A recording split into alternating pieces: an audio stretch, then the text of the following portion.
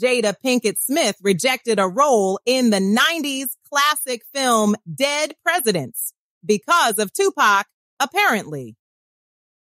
In yet another Jada Pinkett Smith and Tupac revelation that kind of surprised many fans, it's been revealed that Jada turned down a role in the 1995 film Dead Presidents due to her close friendship with the late rap legend.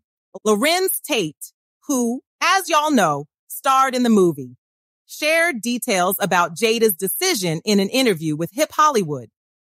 He explained that during a conversation on the set of their film, Girls Trip in New Orleans, he brought up the topic of Jada turning down the role.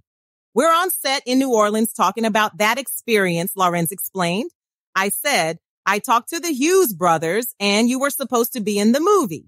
And she says I was. She was like, I couldn't do it because at the time I was really close with Tupac and Tupac had this beef with the Hughes brothers. And because the Hughes brothers directed Dead Presidents, Jada's loyalty to her quote unquote friend Tupac made it difficult for her to work with the directors. The feud between Pac and the Hughes brothers started during the filming of Menace to Society and escalated to a straight up fistfight, according to Menace to Society star Tyrin Turner. And it's no secret that Jada and Tupac shared a deep bond. Even after his untimely death, their friendship remained intact.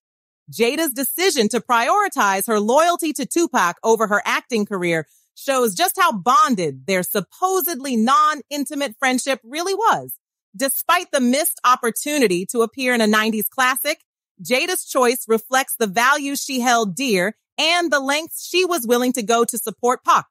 Now, here's the ever growing question that seems to have taken on a life of its own in these social media streets.